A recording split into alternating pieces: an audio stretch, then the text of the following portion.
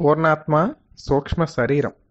ఇంతకు ముందు పాఠాల్లో ఆరాలో ఎతరిక లోపల మధ్యలో మన శరీరం నిలబడి ఉంటుందని తెలుసుకున్నాం.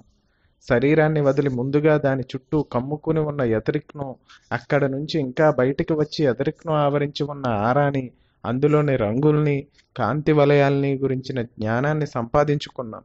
చివరగా ఆరా చుట్టూ ఉన్న పారదర్శకమైన తొడుగు లేక రక్షణ కవచాన్ని గురించి తెలుసుకున్నాం. ఈ విషయాలన్నీ ఎంతో ముఖ్యమైనవి. మీరు వెనక్కి వెళ్ళి పాత పాఠాన్ని మళ్ళీ ఇంకోసారి అధ్యయనం చేయడం మంచిదని మా సలహా. ఏం చేతనంటే బయటకు వెళ్ళగలిగేందుకు అవసరమైన సామర్థ్యాన్ని అందించే విషయాలను గురించి చర్చించబోతున్నాం. ఎతరిక్ గురించి మీకు పూర్తి అవగాహన లేకపోతే మీరు తర్వాత కొన్ని ఇబ్బందులు ఎదుర్కోవలసి రావచ్చు. మానవ శరీరం మొత్తం ప్రోటోప్లాజం ద్రవ్యరాశితో నిండి ఉందని మనం ఇదివరకే తెలుసుకుని ఉన్నాం. ఈ శరీరం అనేక అణువుల పొందికగా కొంత ప్రదేశాన్ని ఆక్రమించుకుని ఉండటం వల్ల ఏర్పడుతోంది. అనేక నక్షత్రాలు గ్రహాలు అనంతంలో కొంత స్థలాన్ని ఆక్రమించుకుని విశ్వం అనే పేరుతో ఎలా ఏర్పడి ఉందో అలాగా ఇప్పుడు మనం మన అంతర్భాగంలోకి దూసుకుని వెళ్ళిపోబోతున్నాం. ఎందువల్లనంటే ఈ శరీరం మాంసంతో నిర్మించబడ్డ ఓ ప్రయాణ సాధనం మాత్రమే. భౌతిక శరీరం ప్రపంచం అనే నాటక రంగం మీద పాత్రధారి అయిన వ్యక్తి తన వంతు నటనను ప్రదర్శించడానికి ధరించే ఓ తొడుగు మాత్రమే. ఒక ప్రదేశాన్ని పూర్తిగా ఆక్రమించుకుని రెండు వస్తువులు ఉండలేవని చెప్పబడింది. ఇటుకరాళ్ళ గురించి కర్ర ముక్కల గురించి లోహపు ముక్కల గురించి మనం ఆలోచిస్తూ ఉన్నంత వరకు ఈ మాట నిజమే. కానీ రెండు వేర్వేరు వస్తువులు విభిన్న ప్రకంపనాలను పొంది ఉన్న లేక వాటి అణువులు న్యూట్రాన్లు ప్రోటాన్ల మధ్య దూరాలు తగినంత ఎడంగా ఉండే పరిస్థితుల్లో ఆ ఖాళీ జాగాల్లోనూ సర్దుకు ఉండగలిగిన వస్తువులు సర్దుకుని ఉండగలవు. ఈ విషయాన్ని అర్థం చేసుకోవడానికి కష్టంగా అనిపించవచ్చు. అంచేత ఈ మాటనే మరో పద్ధతిలో చెప్పుకుందాం. రెండు ఉదాహరణలను కూడా మనం గమనిద్దాం. మొదటి ఉదాహరణని ఇదిగో గమనించండి. ఓ రెండు గ్లాసుల్ని గ్లాసుల అంచుల వరకు పూర్తిగా నీటితో నింపండి. తర్వాత ఓ గ్లాసులోకి ఓ టీ స్పూన్తో ఇసుకని నెమ్మదిగా వదలండి. వెంటనే కొన్ని నీళ్ళు పొర్లిపోయి గ్లాసు నుంచి కారిపోతాయి. ఈ ఉదాహరణలో నీరు ఇసుక కలిసి ఓ గ్లాసు లోపలి ప్రదేశంలో సర్దుకుని ఉండలేమని మనకు అర్థమవుతుంది. నీళ్ళ కంటే ఇసుక బరువు కాబట్టి ఇసుక నీటిలో మునిగిపోతుంది. ఇసుక ఎంత స్థలాన్ని గ్లాసులో ఆక్రమి ఆక్రమిస్తుందో అంత పరిణామం ఉన్న నీరు గ్లాసు నుంచి బయటకు వచ్చేసి వేరే చోటును చూసుకుంటుంది. ఇక మన ముందున్న రెండో గ్లాసు సంగతి సంగతికి వద్దాం. ఈ గ్లాసు కూడా మొదటి గ్లాసు లాగే పూర్తిగా అంచుల వరకు నీటితోనే నింపబడి ఉంది. ఇప్పుడు కొంత చక్కెరను నెమ్మదిగా నీళ్ళలో కలుపుతూ పోతే సుమారు ఆరు టీ స్పూన్ల చక్కెర కూడా నీటితో పాటు అదే స్థలాన్ని ఆక్రమించుకుని సర్దుకుంటుంది. ఆ తర్వాత కానీ గ్లాసులో నీళ్ళు గ్లాసులో స్థలం చాలకపోవడం వల్ల పొర్లిపోవు. జాగ్రత్తగా గమనిస్తే నీళ్ళలోకి చక్కెర కరిగిపోతూ మాయమవడం మనం చూడొచ్చు. ఈ విధంగా చక్కెర నీళ్ళలోకి కరుగుతున్నప్పుడు నీటి అణువుల పరమాణువుల మధ్య ఉన్న ఖాళీ స్థలంలోనికి ఈ చక్కెర పరమాణువులు సర్దుకుపోయి ఉండడం వల్లనే నీళ్ళు పొర్లిపోవు. ఈ ఖాళీ ప్రదేశాలన్నీ నిండిపోయిన తరువాత కానీ చక్కెర నీళ్ళలో కరగడం ఆగదు. ఆ తరువాత ఎక్కువైన చక్కెర గ్లాసు అడుక్కు దారి తీస్తే కొంత నీళ్ళు బయటికి జారిపోయాయి. ఈ ఉదాహరణలో ఈ ఉదాహరణలో రెండు పదార్థాలు ఒకే ప్రదేశాన్ని పూర్తిగా ఆక్రమించి ఉండగలదన్న సత్యాన్ని మనం నిశ్చయంగా నిరూపించి గ్రహించగలుగుతున్నాం. మరో ఉదాహరణని కూడా గమనిద్దాం. మన సూర్య కుటుంబాన్ని చూడండి. ఇది ఒక వస్తువు ఒక వ్యవస్థ ఒక ఉనికి. అణువులు పరమాణువులతో సౌమ్యం సామ్యం పొందుతూ ఇందులోని గ్రహాలు ఉన్నాయి. ఈ సూర్య కుటుంబం మొత్తం కలిసి రోదసిలో ప్రయాణిస్తూ ఉంది. రెండు వస్తువులు ఒకే ప్రదేశాన్ని ఆక్రమించుకుని ఉండగలవన్న మాట అబద్ధమైతే మనం రోదసిలోకి రాకెట్లను పంపించలేం. అదేవిధంగా మరో ప్రదేశం నుంచి గ్రహాంతర వాసులు మన భూమి మీదకి రాలేరు. ఎందువల్లనంటే వాళ్ళు మన స్థలాన్ని ఆక్రమించుకోవలసి వస్తుంది కనుక. కాబట్టి తేలే విషయం ఏమిటంటే కొన్ని ప్రత్యేక పరిస్థితుల్లో రెండు వస్తువులు ఒకే స్థలాన్ని ఆక్రమించి స్థిమితంగా ఉండగలవని. మన శరీరంలోని అణువులు పరమాణువుల మధ్య ఉన్న ఖాళీ ప్రదేశాల్లో కూడా ఇలాగే మరికొన్ని శరీరాలు సులువుగా సర్దుకుని ఉంటున్నాయి. ఈ శరీరాలు తక్కువ సాంద్రతతో చాలా పలుచుగా దూరం దూరంగా ఉంటున్న అణువులతో నిర్మించబడి ఉంటాయి. వీటిని మనం సూక్ష్మ శరీరాలు అంటే ఆస్ట్రల్ బాడీస్ అని అంటూ ఉంటాం. ఈ సూక్ష్మ శరీరాలలోని అణువుల సాంద్రత స్థూల శరీరంలో అణువుల సాంద్రత కన్నా చాలా రెట్లు తక్కువగా ఉంటుంది. అంచేత ఈ స్థూల సూక్ష్మ శరీరాలు రెండూ ఒకే స్థలంలో ఏమాత్రం ఇబ్బంది లేకుండా నిలబడి ఉండగలుగుతున్నాయి. మట్టిలోని అణువులు సీసంలోని అణువులు చెక్కలోని అణువులు వేర్వేరు సాంద్రతల్ని పొంది ఉన్నట్లే స్థూల సూక్ష్మ దేశ దేహాలలోని అణువులు పొందిక గాని సాంద్రత గాని వేరువేరుగా ఉంటాయి. అందువల్లనే మాంసంతో నిర్మించబడ్డ మన శరీరంలో ఈ సూక్ష్మదేహం కూడా ఒద్దికగా ప్రదేశాన్ని ఆక్రమించుకొని సంపూర్ణంగా సుఖంగా సర్దుకుని ఉంటుంది. సూక్ష్మదేహాన్ని స్థూల దేహాన్ని కలుపుతూ సిల్వర్ కార్డ్ ఉంటుంది. ఈ వెండి ప్రోగు అత్యంత వేగంతో కంపించే అణువులతో నిర్మితమై ఉంటుంది. గర్భంతో ఉన్న తల్లిని ఇంకా జన్మించని పురిటి బిడ్డను కలిపే బొడ్డుతాడులాగానే ఈ సిల్వర్ కార్డ్ సూక్ష్మదేహాన్ని స్థూల స్థూల దేహాన్ని కలుపుతూ ఉంటుందని అర్థం చేసుకోవచ్చు. బిడ్డకు తల్లి శరీరం నుంచే ఆహారం పోషణ అనుభవాలు బొడ్డుతాడు ద్వారా అందుతూ ఉంటాయి. బిడ్డ పుట్టగానే బొడ్డు తాడును కత్తిరించినందువల్ల తల్లి నుంచి వేరు చేయగానే ఆ బిడ్డకి ఇది వరకటి పరాధీనపు జీవితం అంతమై స్వతంత్రంగా నిలబడగల ఓ కొత్త జీవితం ఆరంభమవుతుంది. తల్లి జీవితంలో బిడ్డ జీవితం ముడిపడి ఉండడం ముగిసిపోయి కొత్త జీవితానికి నాంది జరుగుతుంది. మన స్థూల శరీరాన్ని పూర్ణాత్మతో సిల్వర్ కార్డ్ అనుసంధానం చేస్తూ అంటే కలుపుతూ ఉంటుంది. శరీరం ఉన్నంత వరకు శరీరానికి పూర్ణాత్మకు మధ్య అనుక్షణం ఓ సంభాషణ జరుగుతూనే ఉంటుంది. రెండింటి మధ్య సంకేతాలు అటు ఇటు ప్రసరిస్తూనే ఉంటాయి. అనేక అభిప్రాయాలను ఆజ్ఞలను పాఠాలను లేక ఆధ్యాత్మికత పెంపొందించేందుకు ఉపయుక్తమైన ఆహారాన్ని ఈ సిల్వర్ కార్డ్ పూర్ణాత్మ నుంచి గ్రహించి స్థూల శరీరానికి చేరవేస్తూ ఉంటుంది. మృత్యువు ఆవహించగానే శరీరానికి పూర్ణాత్మకు మధ్య ఉన్న సిల్వర్ కార్డ్ తెగిపోయి విప్పి పడవేసిన వస్త్రాల్లాగా శరీరం నేలకు ఒరిగిపోతుంది. పూర్ణాత్మ తన పయనాన్ని కొనసాగిస్తుంది. ఈ విషయం ప్రస్తుతం అప్రస్తుతం. కానీ అనేక పూర్ణాత్మలు సూక్ష్మ శరీరాలు ఉన్నాయనే విషయం మనం గుర్తుంచుకుంటే చాలు. మాంస నిర్మిత స్థూల దేహాల గురించి వాటిలో ఉండే సూక్ష్మదేహాల గురించి ప్రస్తుతం మనం చర్చించుకుంటూ ఉన్నాం. ఇప్పటి వరకు జీవ జరిగిన జీవ పరిణామ క్రమం వలన మానవ శరీరానికి అనుసంధించబడి మొత్తం తొమ్మిది శరీరాలు ఉన్నాయి. ముఖ్యంగా మనం ప్రస్తుతం సూక్ష్మ శరీరయానం అంటే ఆస్ట్రల్ ట్రావెల్ గురించి సూక్ష్మ శరీరాలు విహారాలు చేసే సూక్ష్మ లోకాలను గురించి మాత్రమే తెలుసుకునే ప్రయత్నం చేస్తున్నాం. మానవుడు సత్యానికి దేహదారి అయిన ఓ ఆత్మ. శరీరం లేకపోతే ఏ జ్ఞానాన్ని పొందడం అసాధ్యమో ఆ జ్ఞానాన్ని సంపాదించేందుకు అనేక సత్యాలను గ్రహించేందుకు ఉపకరించే రక్తమాంసాలతో నిర్మింపబడిన శరీరాన్ని మానవుడు ధరిస్తున్నాడు. మానవ మానవుని లేక మానవ శరీరం అనే ఈ ప్రయాణ సాధనాన్ని పూర్ణాత్మ తన సారథ్యంలో నడిపిస్తూ ఉంటుంది. ఇక్కడ కొంతమందికి ఆత్మ అనే మాటను వాడడం ఇష్టంగా ఉంటుంది. మనం మాత్రం పూర్ణాత్మ అనే మాటనే వాడుకుందాం. ఎందుకంటే ఆత్మ అనే పదానికి ఉన్న పరిధి మరీ గొప్పది. మానవత్వం కన్నా గొప్పదైన సత్యాన్ని ఆత్మ దర్శిస్తుంది.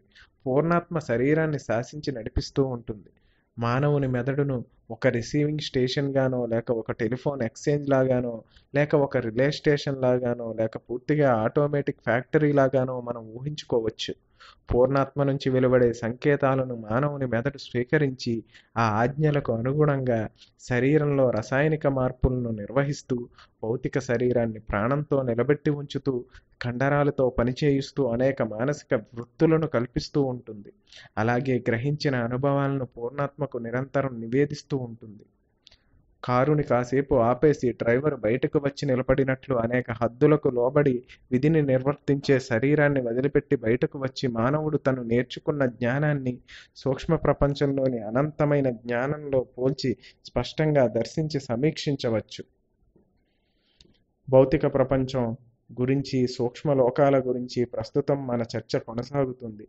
సూక్ష్మ శరీరాన్ని గురించే మన చర్చ కొనసాగిస్తూ ఉన్నాం. సూక్ష్మ లోకంలో మనం కనురెప్పపాటు కాలంలో సుదూర ప్రాంతాలకు పయనమై వెళ్ళవచ్చు. ఏ వేళలోనైనా ఏ ప్రదేశాలకైనా వెంటనే వెళ్ళొచ్చు. అలా వెళ్ళి మన పాత స్నేహితులు బంధువులు ఏం చేస్తున్నారో చూడొచ్చు.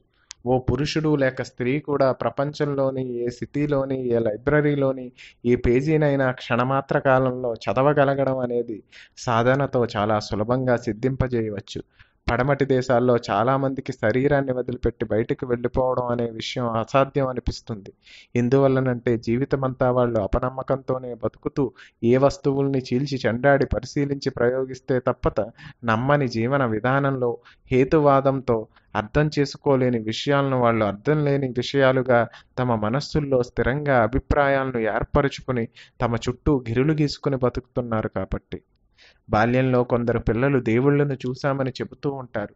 ఇలాంటి విషయాలు నిజంగా జరుగుతున్నాయి. అలాంటి దేవుళ్ళని మేము చూడగలుగుతున్నాం. వారితో మాట్లాడగలుగుతూ ఉన్నాం. వాళ్ళని మేము నేచర్ స్పిరిట్స్ అంటే ప్రకృతి దేవతలు అని అంటూ ఉంటాం. అనేక మంది చిన్నారులకు ఈ ప్రకృతి దేవతలతో స్నేహం ఏర్పడుతూ ఉంటుంది. అపనమ్మకంతో ఉండే పెద్దలకు గంటల తరబడి ఆటల్లో మునిగి తేలుతూ దేవుళ్ళతో మాట్లాడుతూ గడిపే పిల్లల మీద ఏమాత్రం నమ్మకం ఉండదు. ఆ పిల్లలకు మాత్రం తమ స్నేహితులు నిజంగా ఉన్నారనే విషయాన్ని రూఢిగా తెలుసు. ఇలాంటి పిల్లలు పెరిగి పెద్దవారవుతున్న కొద్దీ వాళ్ళను చూసి గేలి చేసి నవ్వి కొట్టిపడేసి కోపగించుకునే పెద్దవాళ్ళ ధోరణిని ఎదుర్కోవలసి వస్తుంది. ఆ పెద్దలు తాము ఒకప్పుడు చిన్నవాళ్ళేనన్న విషయాన్ని విస్మరిస్తుంటారు. తమ తల్లిదండ్రులతో తమ అనుభవాల్ని గుర్తు తెచ్చుకుని తమ పిల్లల్ని అబద్ధాల కోరులుగా అతి తెలివి చూపిస్తున్న వాళ్ళలాగా చిత్రించుకుని వాళ్ళని భయంకరంగా దండించడం కూడా చేస్తున్నారు. క్రమంగా ఇలాంటి పరిస్థితులకు తల ఒగ్గి పిల్లలు దేవతలు లేరని తమ మనస్సును హిప్నటైజ్ చేసేసుకుంటున్నారు. పెరిగి పెద్దయి మళ్ళీ తమ పిల్లల్ని కూడా అలాంటి దేవతలతో మాట్లాడుతున్నందుకు ఆడుకుంటున్నందుకు దండించే స్థితికి చేరుతున్నారు. పాశ్చాత్య దేశాల వారికి ఐర్లాండ్ ప్రజలకి ఈ విషయాల గురించి బాగా తెలుసుననే విషయాన్ని మేము బల్లగుద్ది మరీ చెప్పగలం. వాళ్ళకి ఈ ప్రకృతి దేవతల గురించి తెలుసు. దేవుళ్ళు అనండి దేవతలనండి ఫెయిరీస్ అనండి లెప్రషాన్స్ అనండి పేరేదైనా కాని కానియండి వాళ్ళ పేర్లు అనవసరం కానీ వాళ్ళు ఉన్నారు. మంచి పనులు చేస్తున్నారు. ఇలాంటి వారిని నమ్మకపోవడం వలన మానవులు తమ శరీరంలో గొప్ప గొప్ప విలువలను కోల్పోతూ ఉన్నారు. అజ్ఞానం గర్వం ఈ రెండు తలకెక్కి మానవుడు అనంతమైన విజ్ఞానానికి నోచుకోలేకపోతున్నాడు. ఎందువల్లనంటే ఈ ప్రకృతి దేవతలు తమకు నచ్చిన వాళ్ళకి తమ నచ్చిన తమకు నమ్మిన వాళ్ళకి అత్యంత ప్రీతితో మేలు చేస్తారు. పూర్ణాత్మ విశ్వాసం అన పూర్ణాత్మ విజ్ఞానం అనంతం. శరీరంలో ఉన్నప్పుడు ఎన్నో అడ్డంకులు పరిధులు ఉంటాయి. కొంతమందిని తప్పించి ప్రతి మనిషి నిద్రపోతున్నప్పుడు తన శరీరంలోంచి తప్పించుకుని బయటకు రాగలుగుతున్నాడు. నిద్రలోంచి మెలకువ స్థితిలోకి వచ్చాక తనను కలలకు వచ్చాయని చెబుతాడు. ఈ విధంగా కూడా మానవుడు హిప్నోటైజ్ చేయబడి నిద్రపోతున్నప్పుడు తాను శరీరంలోంచి బయటకు రాలేదని ఎక్కడికి వెళ్ళలేదని మభ్యపెట్టుకుంటూ తాను సంపాదించుకుని వచ్చిన దివ్య అనుభవాలను కలలు అనే పేరు పెట్టి పట్టించుకోకుండా ఉండడం అలవాటు చేసుకున్నాడు. నమ్మకం ఉన్న అనేక మంది ఇచ్చామాత్రంతో తమ శరీరాల్ని విడిచిపెట్టి సుదూర తీరాలకు క్షణాల్లో చేరుతూ కొన్ని గంటల తరువాత తమ శరీరాల్లోకి తిరిగి వచ్చి వాళ్ళు ఏం చూశారో ఏం విన్నారో ఏం చేశారో అన్నీ స్పష్టంగా గుర్తుపెట్టుకోగలుగుతున్నారు. సాధారణంగా ప్రతి ఒక్కరూ సూక్ష్మ శరీరయానం చేయగలను అనే నమ్మకం తప్పక ఉండి తీరాలి. అపనమ్మకంతో వ్యతిరేకపు ఆలోచనలను విరజిమ్ముతూ ఉంటే మాత్రం సూక్ష్మ శరీరయానం సాధ్యం కాదు. నిజానికి నిర్భయంగా ఉండగలగడమే సూక్ష్మ శరీరయానానికి మొదటి అర్హత. భయాన్ని జయిస్తే సూక్ష్మ శరీరయానం అత్యంత సులభం. భయమే ఒక గొప్ప అడ్డంకి ఒక బ్రేకు. శరీరాన్ని వదిలిపెట్టడం అంటే మరణించడం అనే అపోహను ముందు తొక్కిపడేయాలి అలాంటి భయాన్ని విడిచిపెట్టాలి. కొంతమందికి తాము శరీరాన్ని వదిలిపెట్టి బయటికి వెళితే తిరిగి రాలేమేనని ఒకవేళ తిరిగి వచ్చినా తమకన్నా ముందుగా మరొకడు దూరిపోతాడేమోనని చచ్చేంత భయం కలుగుతూ ఉంటుంది. పిచ్చి భయంతో తలుపులు తెరిచి ఉంచితే తప్ప ఇలాంటివి జరగడం అసంభవం. భయం లేని వాడికి ఏ ఆపద రాదు. శరీరాన్ని వదిలిపెట్టి అనంతమైన దూరాలకు వెళ్ళిపోయిన సిల్వర్ కార్డు మాత్రం దిగిపోదు మనం భయపడిపోయి ఆహ్వానిస్తే తప్ప మరెవ్వడూ మన శరీరంలోకి దూరి ఆక్రమించుకోలేడు.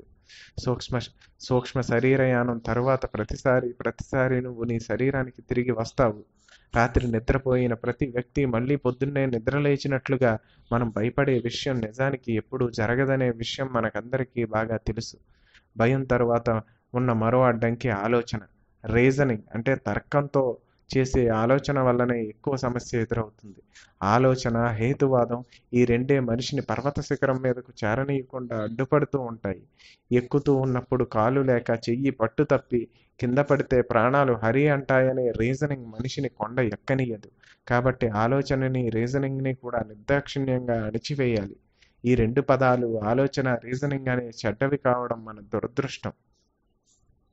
ఆలోచన లేక యోచన ఎప్పుడైనా మీరు ఆలోచన గురించి ఆలోచించారా? ఆలోచన అంటే ఏమిటి? మీరు ఎక్కడ ఆలోచిస్తారు? మీ ఆలోచనలు తలపై నుంచి వస్తున్నాయా? మీ తల వెనక వైపున ఆలోచనలు జరుగుతున్నాయా? భూమధ్యంలో జరుగుతున్నాయా? చెవుల లోపల ఆలోచిస్తున్నారా? కళ్ళు మూసుకుంటే మీ ఆలోచనలు ఆగిపోతున్నాయా? లేదు. మీ మనస్సును నువ్వు ఎక్కడ లగ్నం చేస్తావో ఎక్కడ కేంద్రీకరిస్తావో అక్కడే నీ ఆలోచన జరుగుతూ ఉంది. ఈ చిన్ని మౌలికమైన సత్యాన్ని అర్థం చేసుకుంటే చాలు. మీరు మీ శరీరాన్ని వదిలి బయటికి వచ్చి సూక్ష్మ శరీరంతో ఎక్కడికైనా పిల్లగాలిలా తేలిపోవచ్చు. దీని గురించి ఆలోచించు. మళ్ళీ ఈ పాఠం ఇక్కడ వరకు చదువు. ఆలోచన గురించి ఆలోచించు. మీరు రాబోయే కష్టాల గురించి ఆలోచిస్తూ ఉండడం వల్ల మీ ఆలోచనే నిన్ను వెనక్కి ఎలా నెట్టివేస్తుందో ఓసారి ఆలోచించు. మీ ఇంట్లో ఒంటరిగా ఉన్న సమయంలో అర్ధరాత్రి వేళ గాలులు బలంగా ఈలలు వేస్తున్న వేళ ఇంట్లోకి దొంగలు వచ్చేసారేమోనని మీరు అనుకుంటున్న వేళ కర్టెన్ వెనక దాక్కుని మీ మీదకు దూకడానికి సిద్ధపడుతున్న మనిషి గురించి మీ ఆలోచనలు సాగడం లేదు. ఆలోచన. ఇలాంటి ఆలోచన వల్లే మీకు ఎక్కువ ప్రమాదం జరుగుతుంది. ఆలోచన గురించి ఇంకా ఇంకా ఎక్కువ ఆలోచించండి. మీకు ఓ పన్ను పాడై